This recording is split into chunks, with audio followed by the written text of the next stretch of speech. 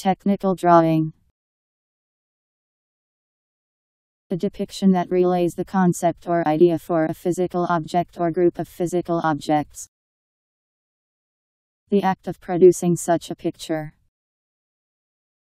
The art of producing such pictures. T E C H N I C A L D R A W I N G Technical drawing